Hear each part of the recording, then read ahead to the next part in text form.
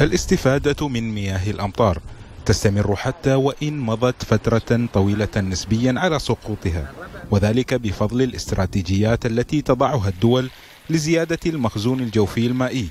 وتلعب السدود دورا بارزا في كيفية إدارة مياه الأمطار والاستفادة منها. ومن هذا المنطلق قامت إدارة السدود بوزارة البيئة والمياه بفتح بوابات مخارج المياه المتجمعة خلف سدود أودية شوكة والكشيش والقصعة في المنطقة الوسطى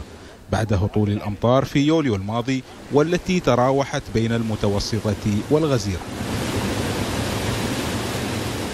فائدة من فتح السدود بين فترة وأخرى هي تعزيز الاستفادة من المياه المتجمعة في بحيرات السدود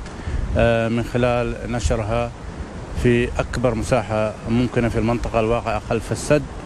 وبنفس الوقت هي تعمل على تعزيز المخزون الجوفي للمياه وتغذية آه، طبقات الحاملة للمياه وتحسين نوعيتها والاستفادة منها في الأغراض الزراعية وبحسب تقرير الوزارة فإن سد وادي شوكة تمكن من تخزين 275 ألف متر مكعب من مياه الأمطار بينما تمكن سد القشيش من تخزين 105 ألاف متر مكعب.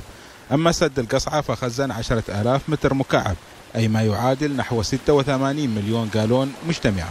ويتم فتح بوابات مياه السدود وفقا للمتطلبات والمعايير الفنية القياسية لأرقى الممارسات العالمية بهدف نشر المياه في المناطق التي تقع خلف السدود لزيادة فاعلية تغذية المياه الجوفية.